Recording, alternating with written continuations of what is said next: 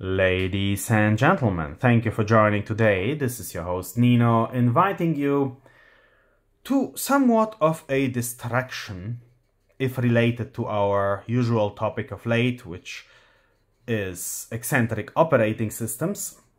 And today's topic shall instead concern the Simple X secure messenger. Now, after the arrest of the Telegram founder in France, there has been a spike of interest in alternatives to Telegram, with people realizing, perhaps, that the best legal defense against disclosure requests is if you do not actually have who knows what data to disclose, and that the run of jurisdictions and that factual difficulties in providing user data are protective only insofar as nobody truly escalates things on the legal front.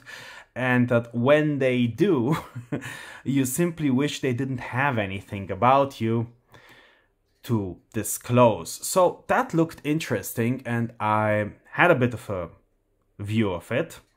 It is available for all sorts of major platforms, like certainly iOS, as you can see here, but also Android, Windows, Macintosh, Linux, and the desktop operating systems even seem to have two varieties, a command line version and a graphical desktop client. So that sounded intriguing to say the least.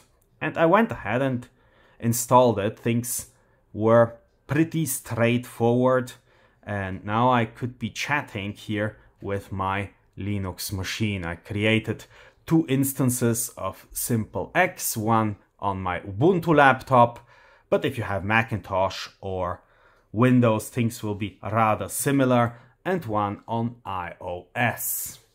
So here, under simplex.chat, haha, like simplex, you find the general website of this messenger and you are being redirected to GitHub for the binaries. And you can see here, I have scrolled down to the assets of the release and yeah, here we are having stuff for Android, stuff for Mac OS. I of course was interested in the Ubuntu version, but it continues onwards to Windows and the desktop versions and so on and so forth. Now, being curious, I went ahead for a command line version and when I started up, then that's what it looks like. And I can send message messages here. I can say at typex. I called my instances Enigma and typex for the coding machines of the Germans and the British in the Second World War, respectively. Uh, so at typex, hello there. And tada, I got it here on my iPhone. I'm not sure you can see that. Yeah, now you should be able to see that. So yeah, I can reply funnily and punk I got that there.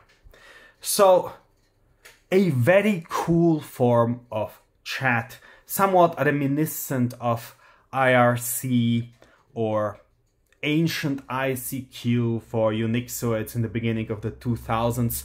This chat looked extremely charming to me. Like, I love this. I admit that wholeheartedly.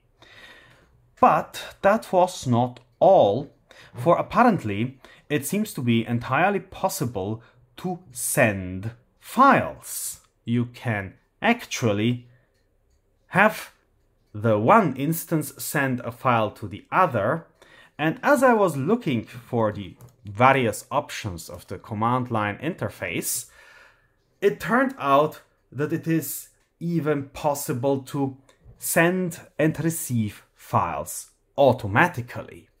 Well, that of course offers an interesting possibility as it gives you immediately the opportunity to script this and therefore create a sort of batch-oriented shell. So the whole thing is, of course, non-interactive insofar as you are sending commands which are then being scripted and the result is reported to you, but you do not get to uh, edit things in VI or something. But the sending and receiving of commands itself, as in a script like that, makes it possible to command my Ubuntu machine simply by sending little scripts here over my iOS machine. And this is what it would look like. It's just simply a bash script of most simple nature. You see out up there, user bin bash, and all you see here on my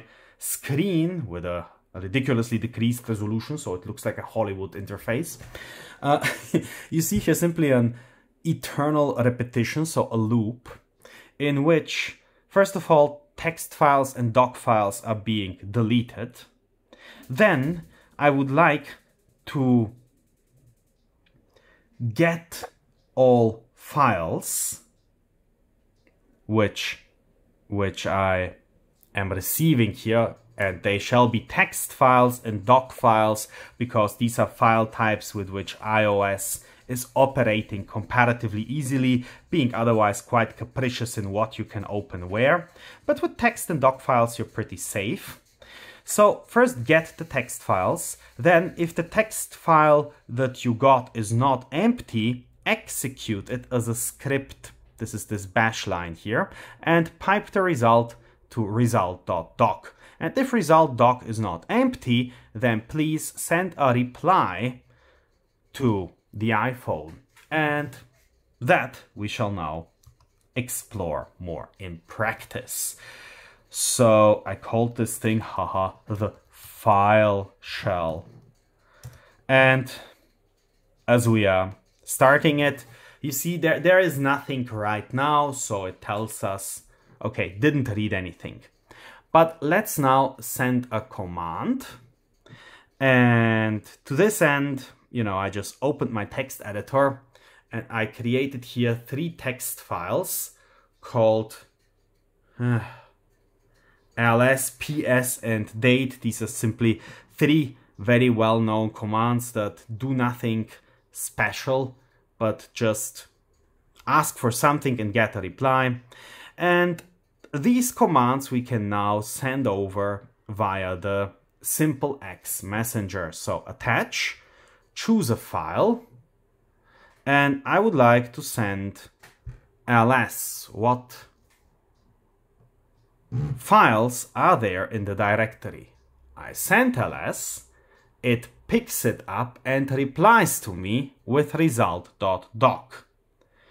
And result.doc I can then open uh, via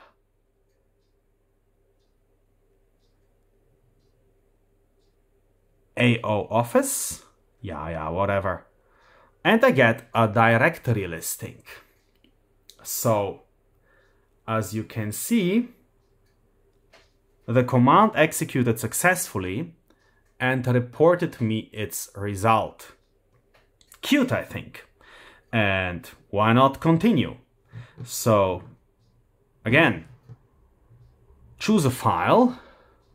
I want to send this time the question on the date. I'm sending the date. And again, I am receiving a result doc.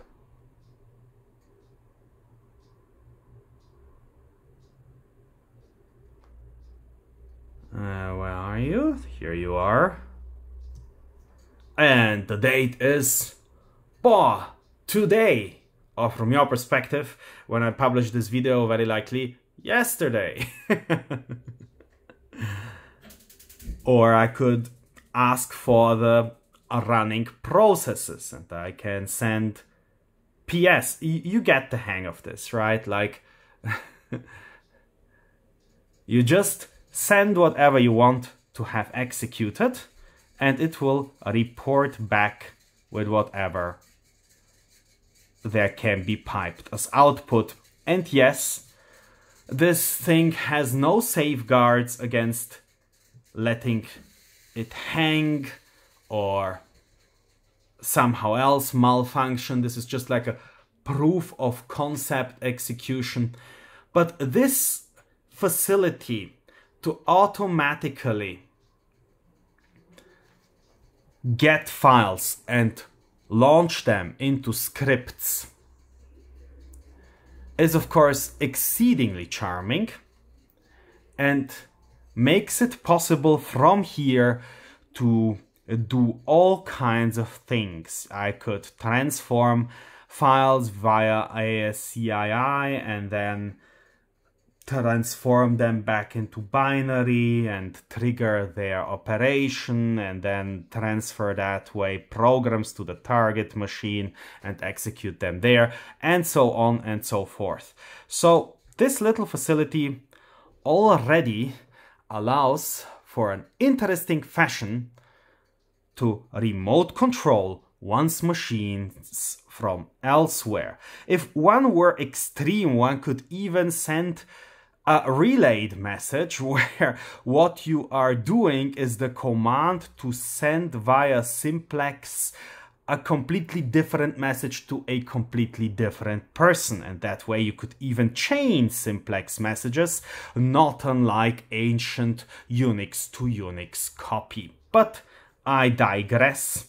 I believe today's demonstration was hopefully clear in and of itself and of course I hope you enjoyed it. And with that I hope to greet you here soon again and thank you for joining today.